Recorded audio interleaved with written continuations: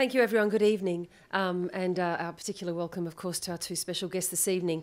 Um, I just need to make first a quick apology. The three of us are completely toxic tonight.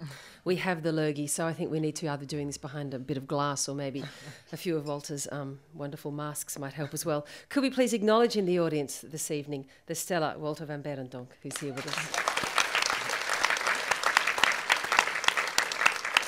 These guys are completely comfortable speaking about this stuff in front of him. I'm not, so I'm going to be the nervous one here. All right, some first principles out of the way. Um, Chris Dercon, is um, fashion art? No, not at all. Fashion is not art, but it's related to art, and in many different ways.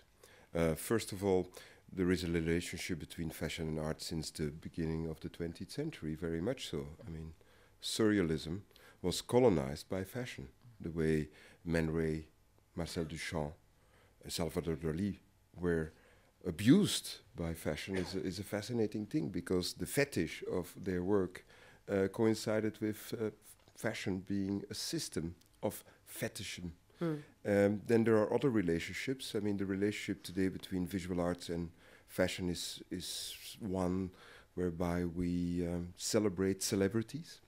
Um, again the fetish, but in art it's the facet, fetish of the asset, and uh, which of course uh, has a relationship with fashion. So there are many relationships to be drawn, but uh, first of all, fashion is for me industrial design and a very very important form of biopolitics we're going to get to all of those points, but um, I'm, I'm, just simply insisting, Kaat, that you answer yes to that question as, no. some, as someone who is a curator of a fashion museum. Unfortunately, I do agree. For me, um, fashion is an, is an applied art, and I think um, fashion needs a very different approach than art when it comes to curating. Mm-hmm.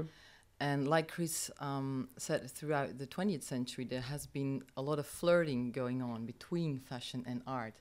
And it goes in waves. Sometimes they can't stand each other, and sometimes they have a very intense um, um, relationship. And I think that um, fashion designers and artists do love to collaborate. When you look at Walter's exhibition and when you look at Walter's work, he has numerous collaborations with artists. And that's so interesting that they um, approach each other and and and um, try to see how their um, different worlds can work together and and what the outcome can be of of art and fashion, bringing it together. But um, when it comes to curating, and I started with that, um, fashion needs a completely different approach because fashion is not made for the museum. Mm. As a fashion museum, we always start from an artificial situation because we exclude the body and fashion is made for um, bodies. Fashion is not only about the garment. I think that um, is one of the most important things I always keep on repeating. It's not only about the garment; it's also about bodies, body types. Yep. Uh, about styling, about images. I see designers as creators of images, and if you think of what's going on the past years in, in, in the digital world, it's all about storytelling through images, through films. In, in fashion, for example, there's this whole new medium of fashion film, which is quite exciting. There's a wonderful fashion film of Walter in collaboration with Nick Knight and um, Simon Foxton in the exhibition. Um, so yes, I think um, fashion and art are different and need different approach. But there is another reason, uh, mm-hmm. Kaat and Virginia, why fashion is not really apt to the museum.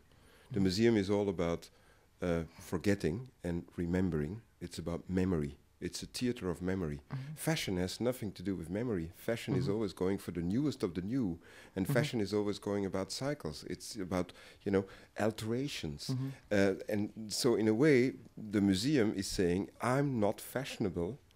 Because I counteract fashion, mm-hmm. and that's an interesting, an interesting aspect, and that's the mm. reason why we have to come up with new ideas of museums and new yeah. forms of display, how to show fashion, because we always have to take into account the dictatorship of time and fashion. Mm -hmm. And the museum is a place where that dictatorship of time doesn't count. Yeah. Mm -hmm.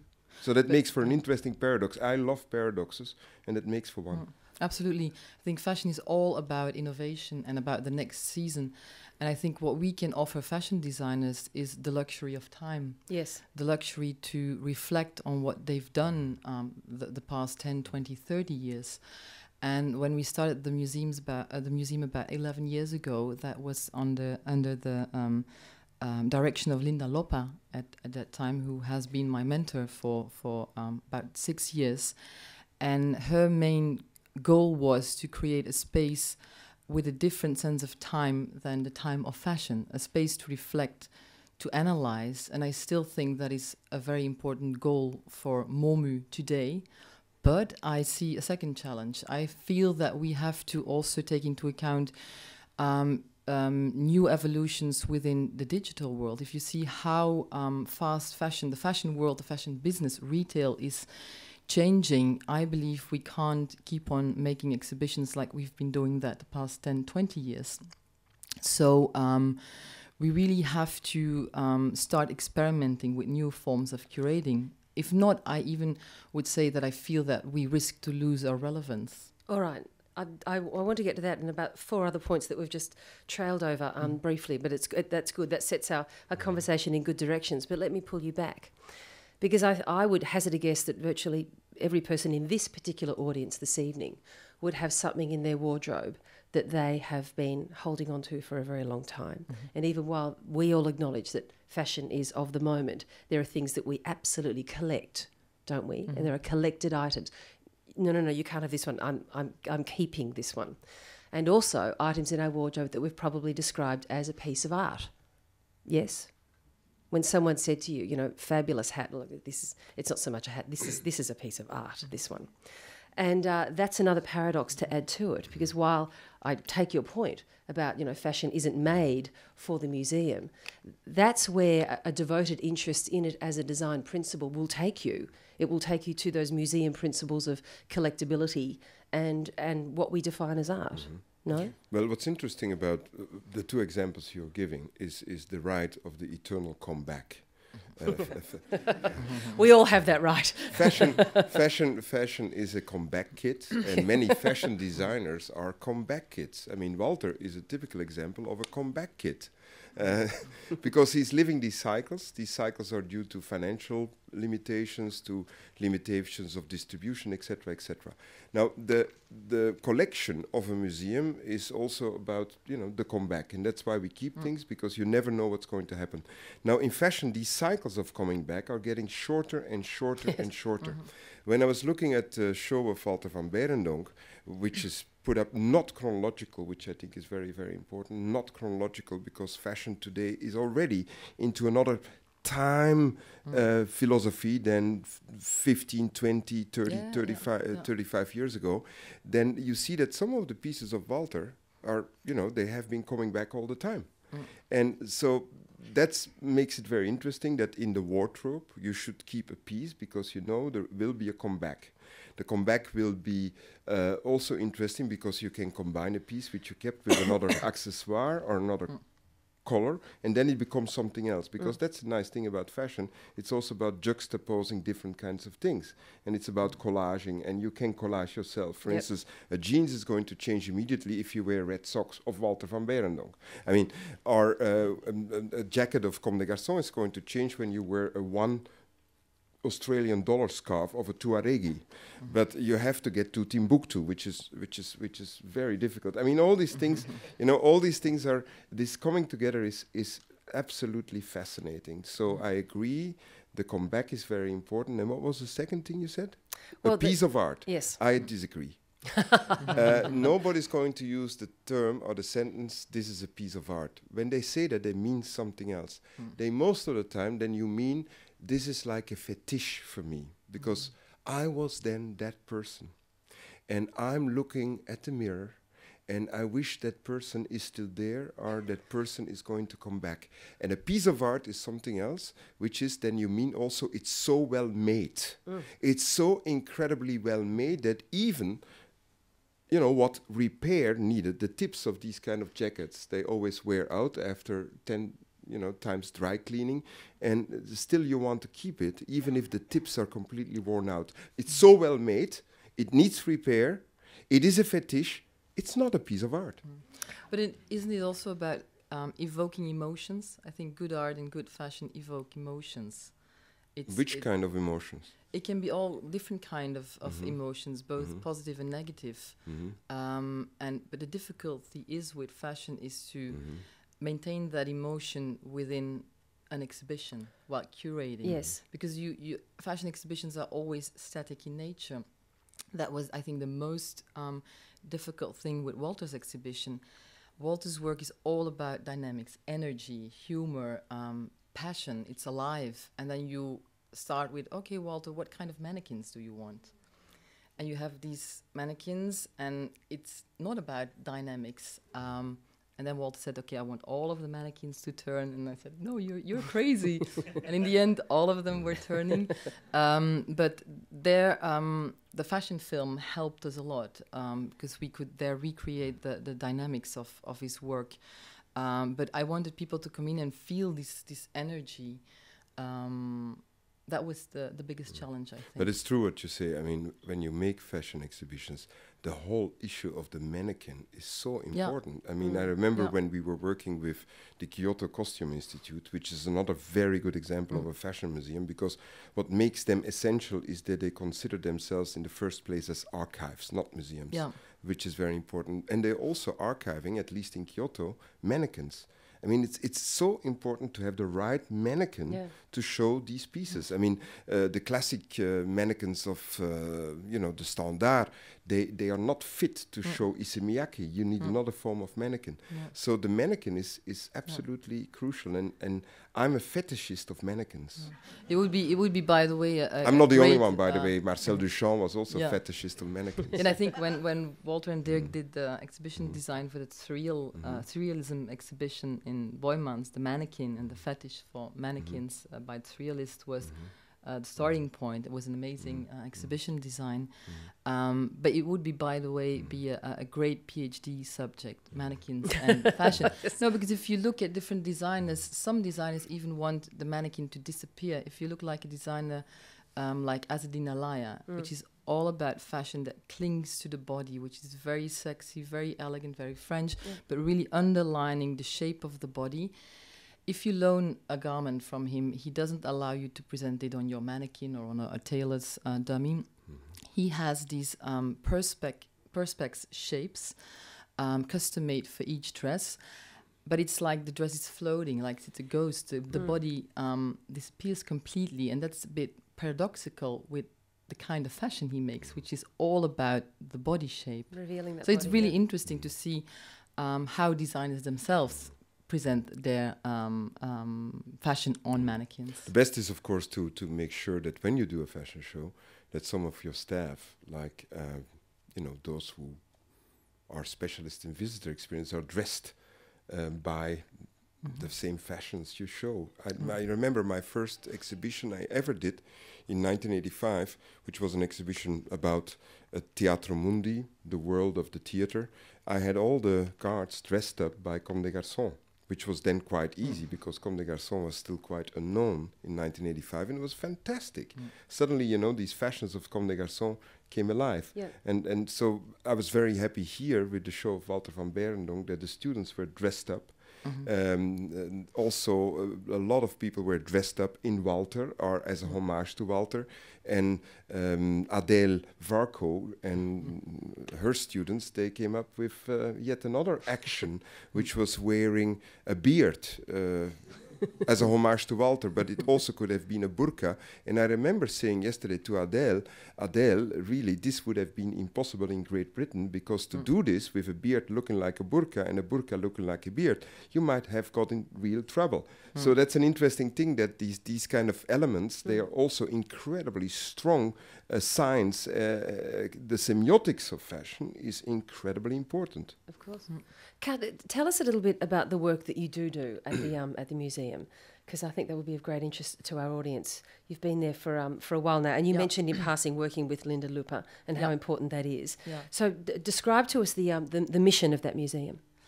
Um, well, our mission is to um, explain or to to um, present fashion, both uh, contemporary and historic, to a broad audience, um, but by um, presenting a context for fashion. We we um, always work with extensive exhibition designs because I believe that fashion, and especially conceptual fashion, needs a context. Mm-hmm. Um, because you can explain, as curator, you can explain everything through a caption. Um, and then you present, for example, a piece by Margiela or Comme des Garçons, and then the caption says, well, in the 80s, this was groundbreaking, this was avant garde. And then you see people staring at it and they see like the, the, the knitted um, jumper of Comme des Garçons with the, with the holes, and they say, yeah, whatever, it looks a bit sad. um, but to explain people what avant garde is 20 years later is, Yeah. is very hard and i don't want people to understand it through a caption. I want them to feel it.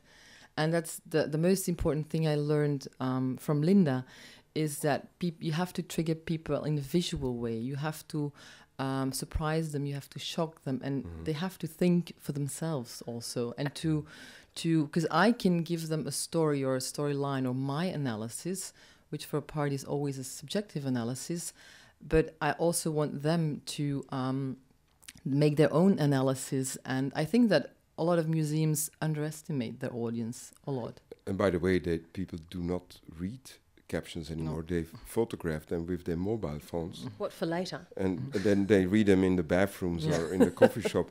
I mean, Which so I it think is doesn't make fine. I think, oh, you think we all fine, yeah. no, we always Except give we- we- people except we need- we- information, and mm-hmm. whether they read it afterwards on the train or two months later or they mm-hmm. or, or three years later, that's fine.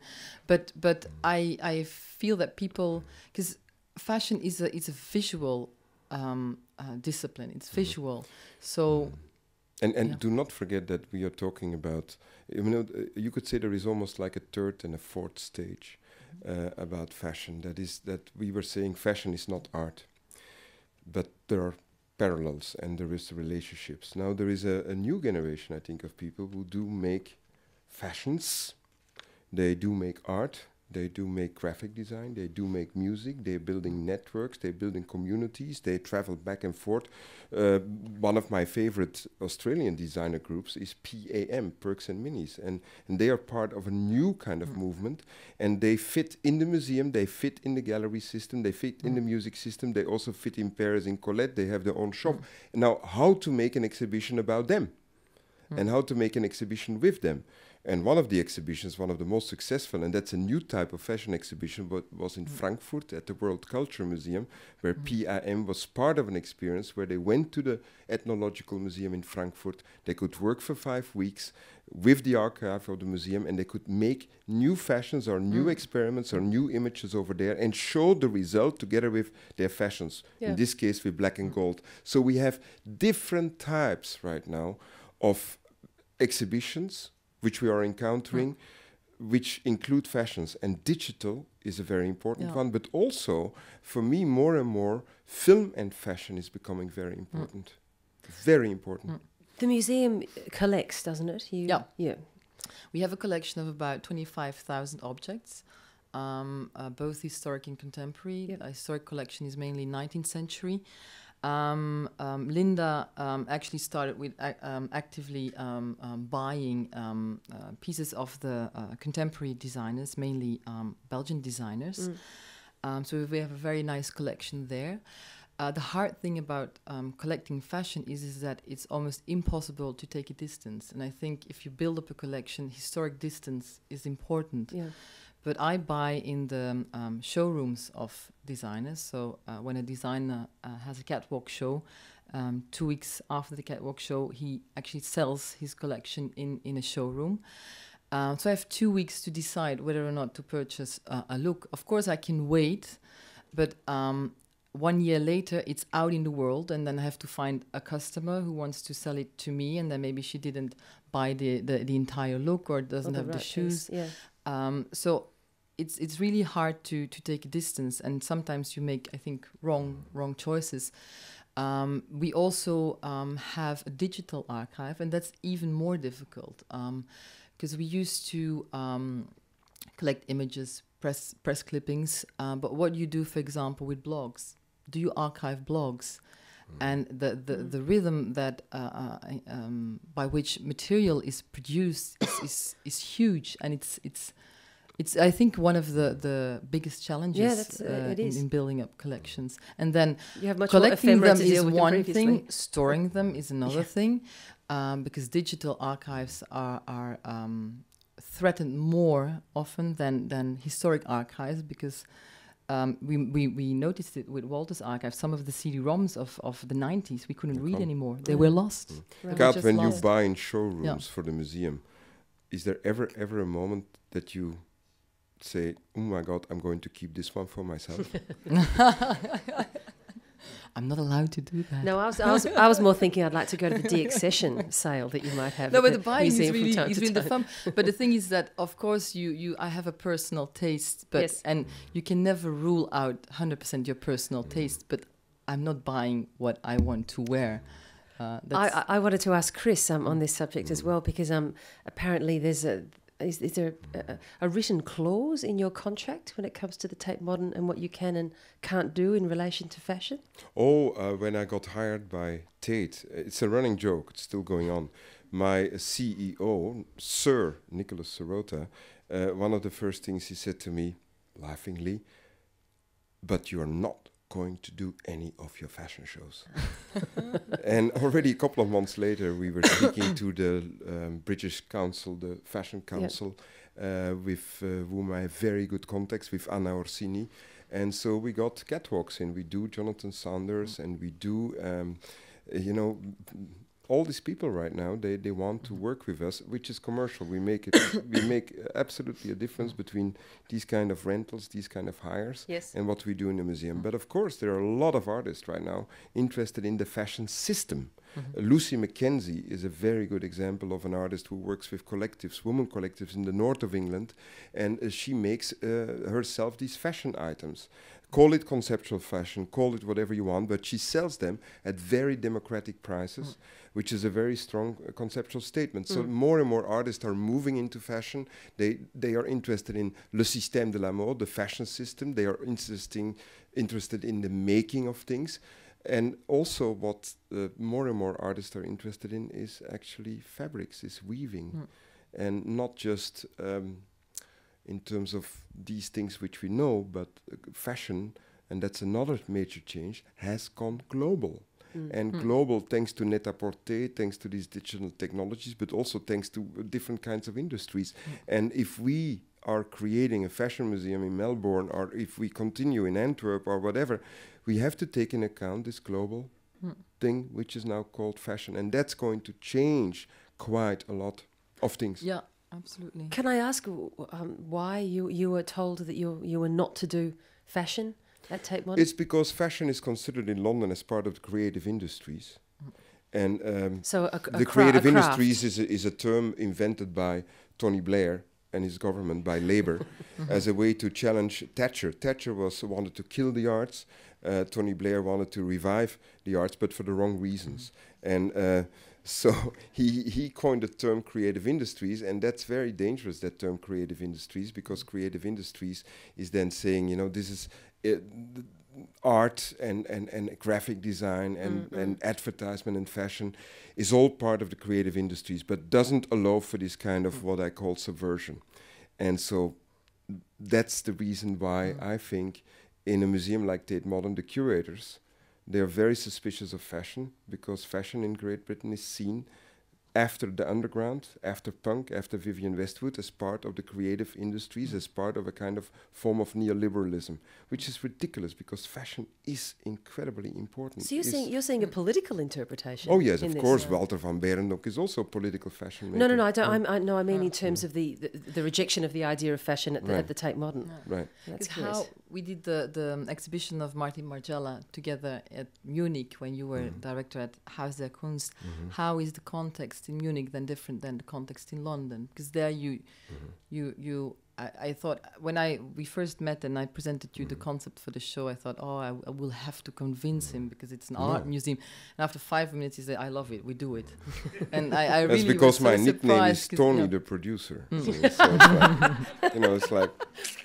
Anyway, uh, no, the reason why we did and accepted that is because before I was running Tate Modern, I was director of the Haus der Kunst in Munich, Mhm. which uh, was a house uh, founded by the Nazis and Hitler, Mhm. and it was exercised. Um, Mm. it was cleansed by the GIs, by the American Army, and immediately in 1946 47, there were fashion shows in Munich because they showed to you know the woman in Munich what was going on in America on the East Mhm. Coast, what was going on in Paris, and it was showing them this, this kind of op- optimism of Mm.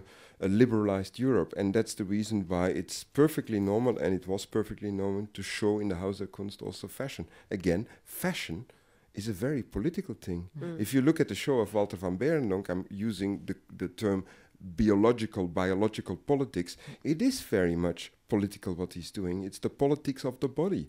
I mean, the expressions of Walter van Beirendonck, what he says about gender Yes. and Mm. identity and about sexuality and about homosexuality and also about youth cult- culture is a very strong statement. And that's to be taken very seriously. It's not something um, frivolous. It's not something just beautiful. It's um, you know it's the danger of beauty because beauty Mm. can be really dangerous and very effective and can say something which we don't know yet. We feel it, and when a statement like that is worn on a body, it becomes even more effective. I saw yesterday night people who were dressed up in Walter with Walter, and of course it's beautiful, it's affective. But I also saw some people who were looking at that not with mistrust, but a kind of ooh, what was going on there? And the same with, uh, I would say, with some lines which I consider very important today, like Rick Owens. I mean, it's Mhm. it's it's a kind of threat which is coming out, which I think is very think- very important. I think fashion is a is a um, a very powerful tool in in Mhm. in today's um, society. If you look at advertising, if you look at Mhm. the, the the power of the fashion image Mhm. in in in our contemporary society, I I I think it it it um, is even more powerful um, than uh, how art communicates to a broad audience. Absolutely. No, it's true, and, and, and particularly even with something as simple uh, as the T-shirt, you know, Yeah, where, but the, also- where, the, where the political al- message and also yeah. the the, a the a- Yeah. advertising message Yeah. has merged with the T-shirt But that over has to do years. also with fashion and the fashion item as the fetish. Look Mm. at your shoes. They're fetish. I mean, they're fetish shoes. Yeah. And, uh, you know, I think they are fantastic, but they are not adorable. They're not adorable. They are marvelous, I adore but they them. are Be not. careful with what they you are- say, Chris. These are a women's shoes. show your shoes. Do you see Virginia's shoes? The shoes are seen. Don't They worry. are They're they are marvelous, but not adorable. They are. yeah, but I uh, have a spike that I They can are wear, so you need to amazing, watch but it. not genteel. I mean, so it's this is a fetish, Yes. and and Mhm. I'm. let me You got a problem No. with that? No, no, I'm just I'm just looking around. Um, we've traversed um, fashion as being art or, or not art, and you've mentioned industrial design as well. I think we should talk about fashion and craft Mm-hmm. as well because there's a there's a very important history and relationship there, and well, not only relationship, but I would venture that the the only fashion works that would ever turn up, that would ever make it into your museum, or maybe even in time into the Tate Modern, are works that have at their heart an exceptionally fine or challenging or interesting connection to craft. Yeah, that can be one of the reasons why you why you collect a, a, a- garment or an object is the craft or or, or the technology um, through which uh, an item is made. And also here, I think there are very exciting things going on. If you think uh, um, about 3D printing, Yeah. what's going on there, and, and, and fashion discovered 3D printing. There's this Dutch designer Iris van Herpen who does um, wonderful stuff um, with with a Belgian company called uh, Materialise. Um, and the interesting thing is that these technologies were um, not in the first place used for, for fashion or art or architecture, but in the in the medical business and in the auto um, the car industry. Um, that's where these companies made their made their money, and then um, you know the the art and architecture is a bit spielerij for for them. Um, but I think that's amazing, and these new technologies, I really believe that they will change the whole design process. Because as a fashion designer, if you if you're not a good pattern maker, you need a pattern maker. Because designing is has always been teamwork. Um, but when you design a 3D dress, you need um, um, an algorithm. you need uh, a 3D file and you need a, um, a very good 3D designer besides you. And I think the input of designer and 3D designer are will be equal, and that that um, asks for a change um, in in in how fashion designers think about their role in the creative process. Uh, I think we will have a big evolution there as well. It will become something like conceptual art, like you buy you buy a certificate, you buy an instruction. yeah, but and you that buy would an be very interesting. I you- yeah. buy an, a certificate by Walter van Beirendonck, which is a file, and I put it in. Yeah. And you know what? There is somebody here, I think, who's a pioneer of that already, and he's sitting next to Walter van Beirendonck. He's he's another of the Antwerp Six, and that's Dirk van Saene. When we bought for the Museum Boymans, Dirk, in 1998. 90, 1989 or 98, when we bought your paper dresses, we knew, of course, that this is a problem for durability. Now, in a museum, we hmm. can keep paper dresses, but I can imagine that the continuation or the consequence of that is that, you know, next what we do buy is a certificate by Dirk van Saene with a file, and we create another paper dress. So mm-hmm. all these things are becoming very interesting. So Yeah. well made in fashion mm-hmm. will not anymore be just a matter of durability of sustainability. It's something else. Well made will be mm. it's it's easy to copy. So then i don't have a problem anymore with my trousers which i bought in 83 of comme des garçons. I don't have to go from tailor to tailor to mm. try to remake them but i just can start to copy mm. it. And the first thing i would do is when i buy something before it went three ten times to the dry cleaner i would you know copy it hmm. and then i can Wait. print it out It could be the ultimate democratization of, of fashion, but I say it could be because we're hmm. not Could be, there. could we're be, not there yeah. yet. Hmm. Uh, I Uh, think yeah. the ultimate democratization of, of beauty and fashion is to work directly with and on the body. And that's how I start Yeah. to see plastic surgery right now. And I'm not They- talking about, Yeah. you know, the, whatever. I'm, I'm talking about something else where you really but they can start they to can print skin. Yeah. There's a they Dutch, can print skin. There's a yeah. Dutch company Mhm. that prints skin. Right. They use it now Mhm. for people with Right. um, burn burn Mhm. wounds. Yes. burns, Yeah. Because the next, uh, uh, in what I've been reading in, in, in, in serious newspapers, also from um, by psychoanalysts, is this, that the female body, the fetish of the female body, of the fetishization of the female body is constantly changing.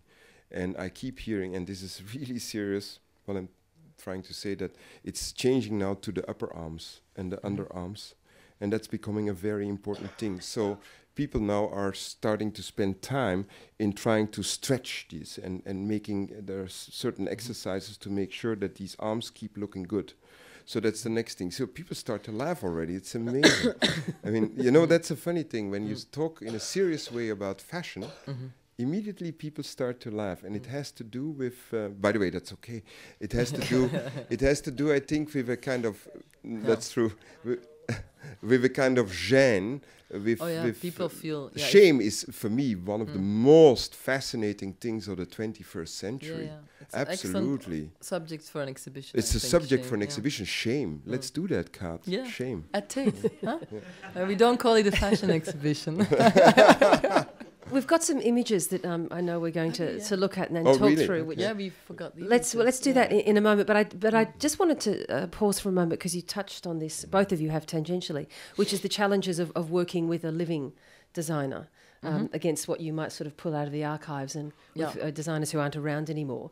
Um, what are the particular challenges there? And I should imagine there'd be a, a, a, it'd be a very fruitful one as well that would Yeah. that would end up with with uh, works and and complexities that you perha- perhaps didn't envisage in the first place. Yeah, no, we always insist when it's possible, when the designer is still alive, to collaborate with the designer and his team, his creative team, because it's it's I can make an analysis of of of uh, the work of a designer, or I can um, explain the historic uh, importance of of the oeuvre of of a fashion designer.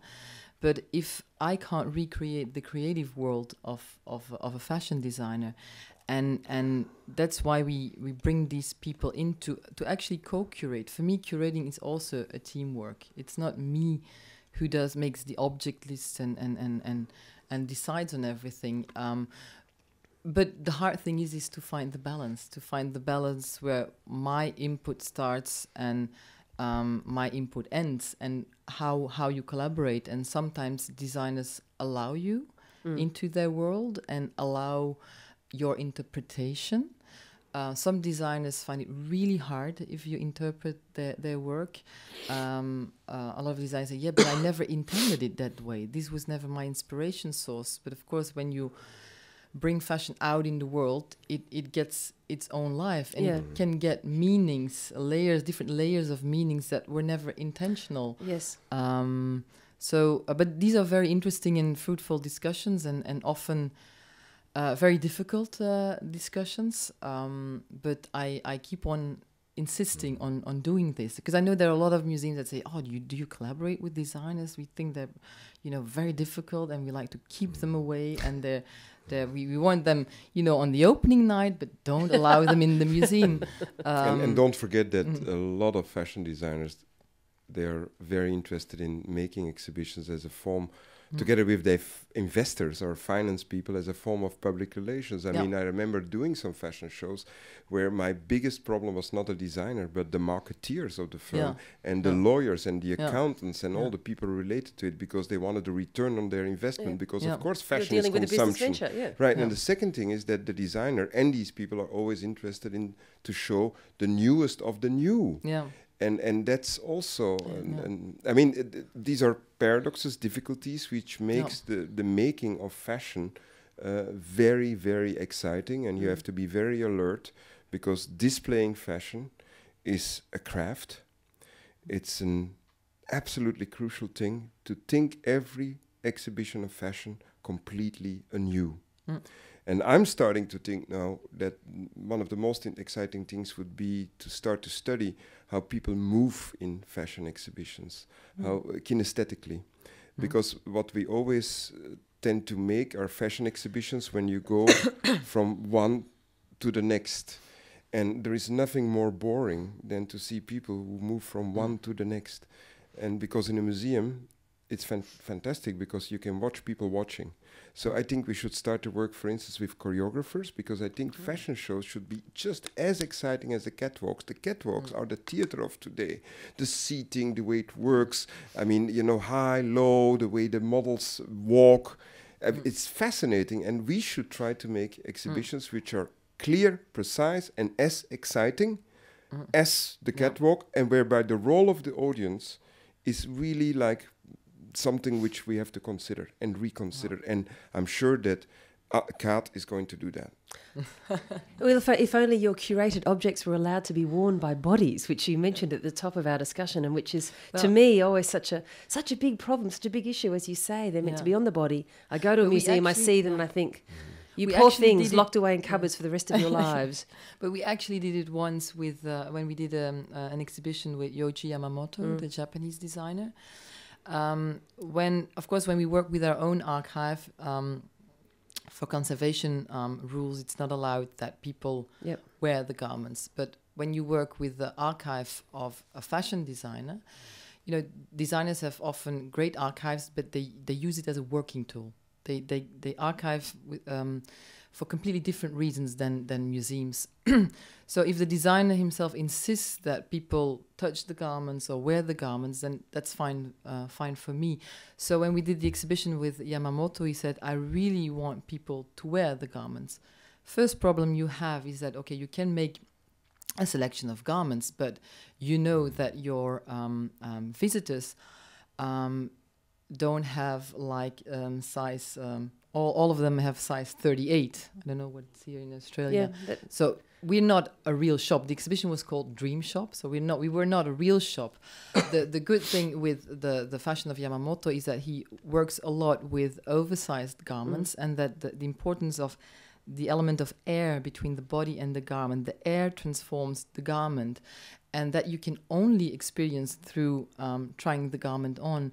So um, women with different body types, uh, tall women, um, short women, could wear the same dress, and that Mhm. was really a wonderful thing. I, I would never do it with a different designer because you don't want to frustrate your audience by giving them a size that's too too small. Um, but with Yamamoto, it worked perfectly. We had these um, at the center of the uh, exhibition. There were like fitting um, cabins. and we really insisted that there was um, staff from the museum um, explaining the garments to people because um, we also realized that biggest part of our audience was not familiar with with con- conceptual fashion, Mm. and it's not about dressing up. We didn't want people to to try on a dress and then start laughing, and you know, they they should take it seriously. And Shame. it really, it really, it really worked. The, Um, the theme is developing. I, I have to t- I have to tell just an anecdote about Yoshi Yamamoto because there are many different ways to approach mhm. a person like Yoshi Yamamoto. There is an amazing film which you probably can buy at Tony's shop, which is a DVD on DVD, which is a film by Wim Wenders about Mhm, Yoshi yes. Yamamoto, and I think that that film is one of the perfect ways of showing the Mm. work of Yoshi Yamamoto. Another way to do it Mm.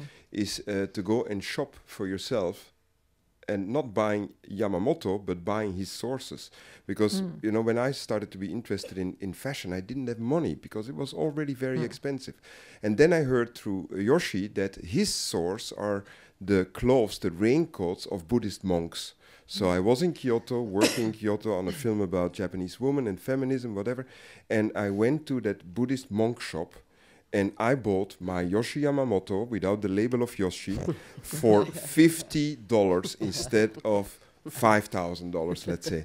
And I still have the, all that stuff, and I regularly go to Kyoto to a Buddhist monk shop. It's an outlet for Buddhist monks, and I always say that I'm a Buddhist monk living in Belgium, so I get to buy, I get to buy everything from Yoshi Yamamoto for nothing, which is great. I love that they try and check a card at the door when you do that. Um, let's try and get some of those images up um, if we can. And of course, the exhibition yeah, that we have Walt's here. exhibition in Antwerp. And you see, it's a you know, space and architecture is so important Mm. when you curate. You see the, the, the, the exhibition is completely different in Antwerp, and I was so happy seeing it here in, in Melbourne. Um, I think the, the, the space in Melbourne is is uh, powerful because of its height, and, and it's a space I think that very easily overpowers the objects you put on display. And I think the design which Walter did together with Geert, who is there, works really amazingly um, well in the space. But when I see this, I think one of one of the things, one of the real challenges right now is that I think we should really try to make all our shops uh, in the high street look like these kind of exhibitions. Mhm. Sometimes it's so boring Mhm. to see these fas- fantastic items in these incredibly boring Mhm. architectural environments. So this would be something which we have to teach ourselves that we have to Mhm. change our shops. But we don't have to teach Walter. He had one of the most exciting shops. That's true. In Walter had a Antwerp, uh, fantastic shop think with Marc Newson, by the way, Yeah, the Yeah, Australian also, yeah. designer. hmm These are more, this is a collaboration with uh, Folkert de Jong.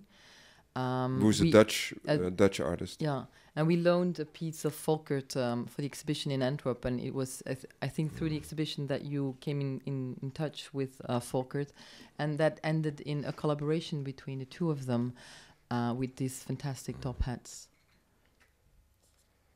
This is one of the latest collections called um, "Shut Your Eyes to See," and Walter just yesterday I think told me that And that's it's it. all about uh, it's a very intimate collection shut your eyes to see if you close your eyes you look into yourself This is This for me one of the most exciting things because Erickson this this these Yeah. lips is of course something which reminds us of of, Mick Jagger, Salvador Dali. Yes, exactly. And here you have a very good example of the fetish, huh? Mm. Is fascinating. This is wonderful. Walter van Beirendonck is also somebody who would try to reinvent what the meaning can be uh, of the accessoire, and we are still ashamed, uh, you know, wearing accessoires. I mean, the big bag we, we accept, but uh, when and rings, of course, but even colors and and hats. But that's I why mean, that's why something we are Walter still is so scared about. fascinated by Papua New Guinea because their um, decor- the body decoration is not the privilege of, Mhm. of women alone, but Mhm. also of, of men. This is uh, the ultimate democratization of beauty. you can work directly on the skin. Oh, I thought you meant that anyone could be a lizard. No, but I mean, I, I think this is absolutely beautiful. When we did a show with Walter van Beirendonck in Museum Boymans van Beuningen, he uh, carried out together with the body artist these prostheses on the body. So he worked on the face, and it was really fantastic, uh, directly on the Mm. body. And this is a very good example. But no? that also references, Yeah, d- that's doesn't what it, well to the ethnography. That's what, what also a lot of of of um, um, uh, tribes do. Eh? exactly. I was about sort to say it references your very as- deep as interest in that. Yeah, as a second skin. that's right. as as a way of of sort of warding off evil spirits. Mhm. I think the idea of a second skin is also very important in Walter's work. That can be sort of body decoration, that can be a mask, Mm. mask as, as an alternative to makeup. Mhm. We're here talking about Dream the World Awake, but also about Hollywood costume, um, which is, of course, the exhibition here at ACMI, which I know that you've seen, Chris. Yes, And of course I've it's- seen it's, it. It's intriguing to me that um, we know that, that theatre and cinema, and theatre in particular, mm-hmm. is you know a great deal of, of smoke and mirrors. It has to be by necessity. It's creating an illusion. Mm-hmm. So even though you know you might have theatre flats that evoke a um, a particular place and time, they're not real, and they're just they're just mm-hmm. painted cheap plywood. But when it comes to these costumes, these are completely real. The, the sort of care uh, and expertise that you would expect from a piece of couture has been applied to these, even though it's it's to be filmed and to be filmed from some distance away. I find that that that paradoxical and intriguing too. It has nothing anymore to do with fashion. Hmm. It's all about semiotics. It's all about sign language.